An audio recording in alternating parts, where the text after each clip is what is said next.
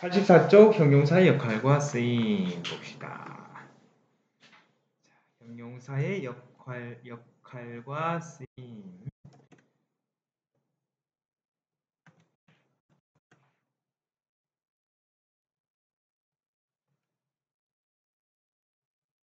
자, 첫 번째 형용사는 주로 명사의 앞에서 꾸며주지만 뭐뭐 띵, 뭐뭐 원, 뭐뭐 바디로 끝나는 것은 뒤에서 꾸며준다. 후치수식 해준다 이 말이거든요. 자, 그래서 뭐를 뭐뭐 띵, something, nothing, anything, someone, no one, anyone, somebody, nobody, anybody.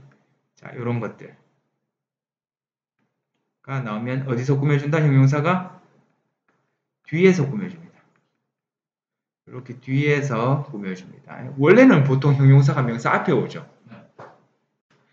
My grandmother told me funny stories of my dad as a kid. 우리 할머니가 나에게 재미난 이야기를 해주셨어요. 어린 시절 아빠 이야기를 해주셨어요.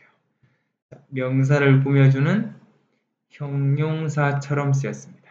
아, 형용사입니다.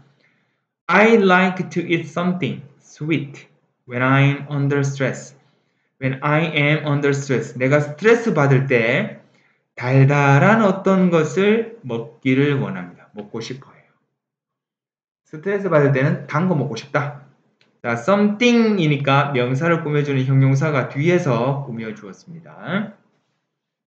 이게 바로 뭐다? 명사를 꾸며주는 수식, 꾸며준다라는 걸 우리 수식이라고 합니다. 어려운 말로. 그 다음에는 서술해준다. 설명해준다라고 얘기했어요. 뭐를 설명해줘?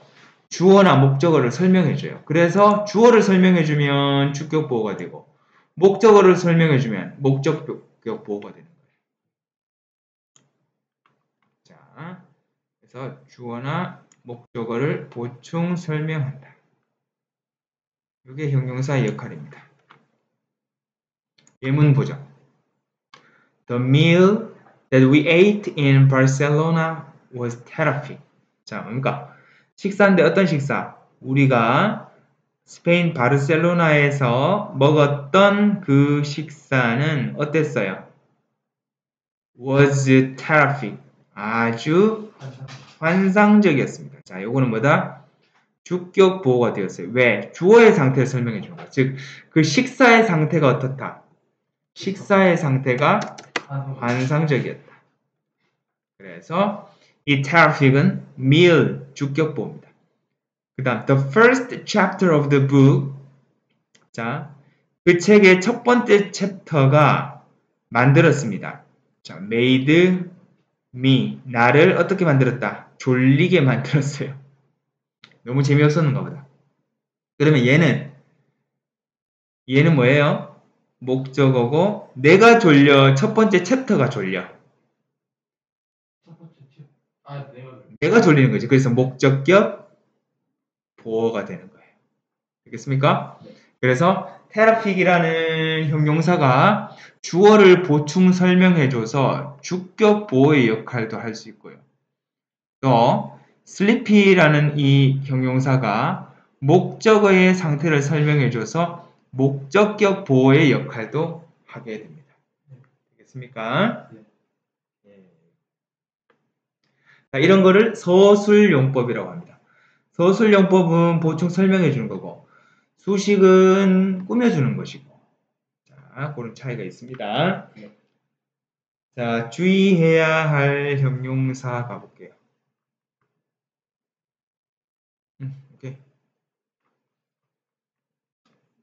주의해야 할 형용사. 자, 수식 용법으로만 쓰이는 거. 수식만 쓰이는 게 있어요. 수식만. 얘는 서술로 안 쓰이고 수식으로만 쓰이는 거예요. 즉, 이 말은 무슨 말인데, 반드시 명사와 함께 거예요. 명사랑 같이 써야 되는 거예요. 예를 들어서, 음, main dish라고 해야 되지. This is main. 이렇게 쓴다, 안 쓴다? 안 쓴다. 물론 뭐 main dish의 의미를 갖고 있는 main이면 상관없는데 자 그 다음에 My elder brother. elder가 뭔데? 손 위의 이런 뜻이야. 손 위의. 손 위. 그러니까 우리 형이죠. 내 손 위 형이 이미 결혼했어. 그리고 어디에 살아? 런던에 살아. 결혼한 거 1번, 사는 거 2번. 그렇다고 이걸 이 문장으로 봐봐. My brother is elder 이렇게 말 돼야 안 돼요? Elder은 반드시 명사와 함께 있어야 돼요. 그런 게 어떤 게 있다? main, 주된, only, 오로지, elder, 손 위에, former, 이전에, live, 뭐 살아있는, drunken, 뭐술 취한. 자, 반면에 서술용법으로만 쓰이는 것도 있어요. 서술로만. 즉, 얘는 명사를 꾸며준다, 안 꾸며준다?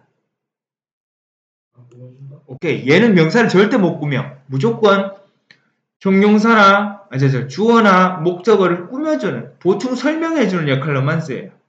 꾸며주는 게 아니라, alive 살아있는, 약간 공통점이 A가 붙어 있어.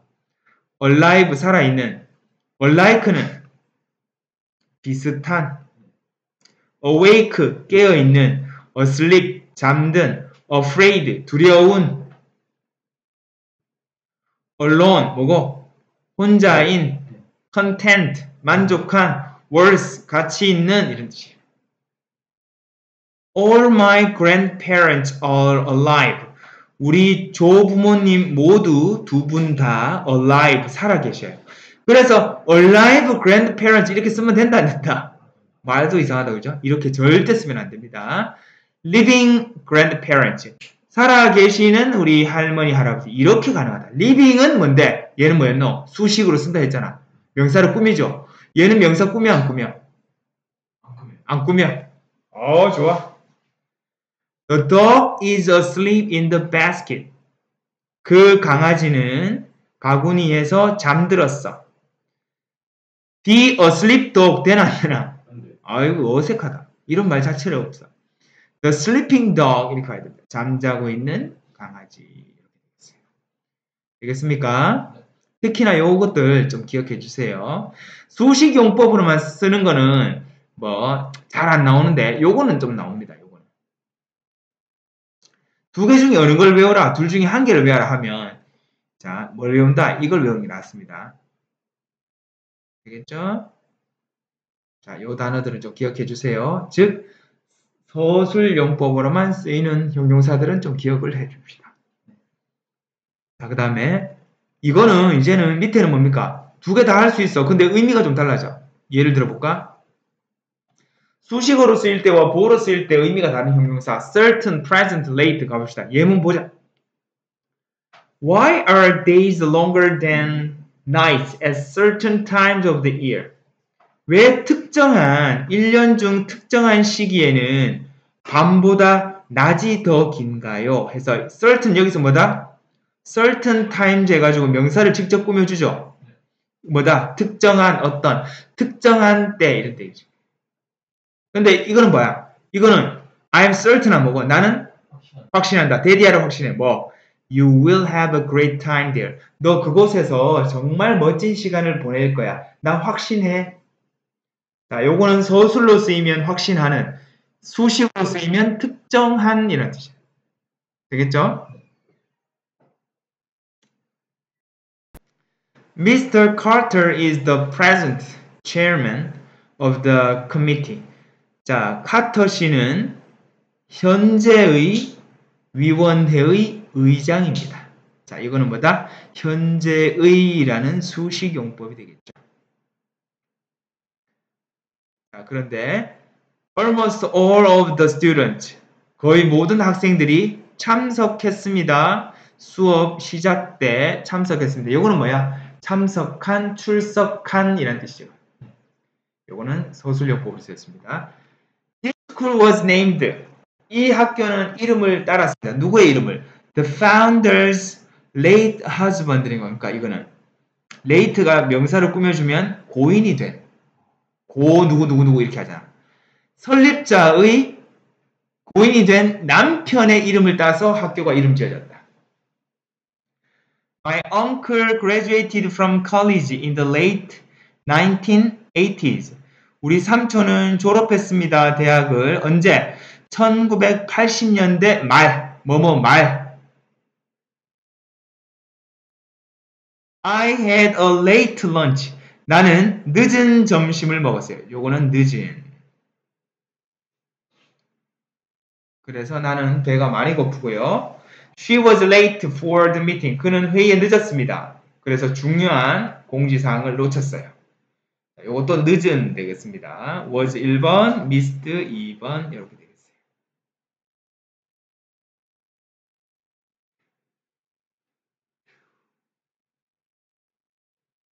자, 그 다음에 밑에 의미 차이에 유의해야 할 형용사 한번 봅시다. 자, his acting ability is comparable to that of the best actors.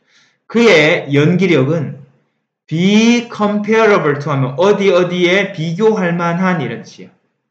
comparable, 비교할 만하다. 뭐 최고의 배우들의 연기력과 비견될 만하다. 즉 비교할 만하다. 칭찬이다. 그죠? This course takes a comparative approach.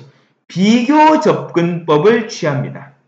뭐 문화의 연구에 있어서 비교적인 접근, 비교 접근을 취합니다. 그래서 comparable 하면 비슷한 또는 비교할 만한 이런 뜻이고 comparative 하면 뭡니까? 비교를 하는, 비교를 통한, 비교의 이런 뜻이 돼요. 비슷하지만 다른 의미를 갖고 있습니다. 밑에도 봐봐. economy 하면 경제의, economical 하면 절약하는, sensible 분별 있는, sensitive 민감한, 예민한 이런 뜻이에요. considerable 상당한, 많은, considerate 사려 깊은, successful 성공한, successive 아유 이거 꼭 기억해라 연속적인이라는 뜻이야. successive 하면 연속적인. imaginary 상상의, 가상의, imaginable 상상할 수 있는, imaginative 상상력이 풍부한, respectable 존경할 만한, respectful 경의를 표하는, 공손한, respective 각각의 자 우리가 틀리기 쉬운 게 이런 것들이에요. 자, 요거 표시 하나 해줄게. 따로 또 표시 하나 해주자. 자, successive 표시해주고, 또, respective, 각각의 도 표시해주세요. 요거 헷갈리기 쉽거든.